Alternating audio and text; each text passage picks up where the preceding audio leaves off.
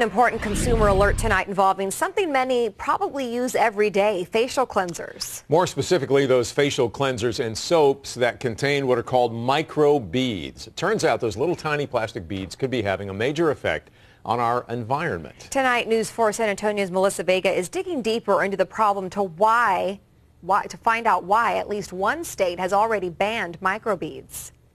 These tiny little plastic beads. Some are purple, some are white. You'll find in some facial cleansers and toothpaste to help exfoliate your skin and teeth. People hear nanoparticles and things like this, and people think, oh, that must be good because it's new and it's technologically advanced. But Dr. Miguel Fernandez, director of the South Texas Poison Center, says that's not necessarily the case. Here's why these microbeads don't break down. They're designed small enough to wash down your drain, and since they're not filtered out by septic systems, they flush themselves back out into our fresh water. You would think, well, what's the big deal? You know, I'm just using a little bit.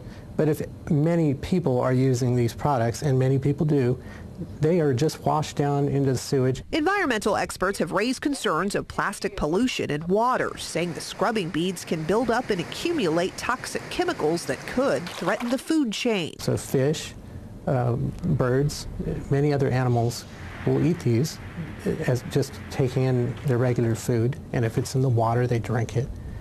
And then these things go through their system. One animal eats another, and another one eats that one, and eventually gets to the food that we eat.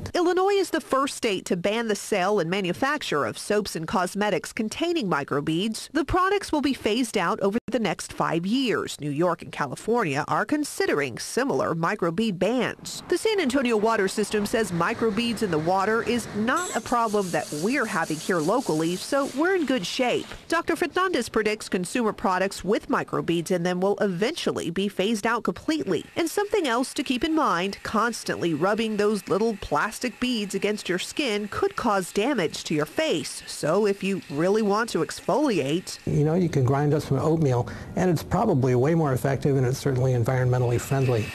Melissa Vega, News 4, San Antonio.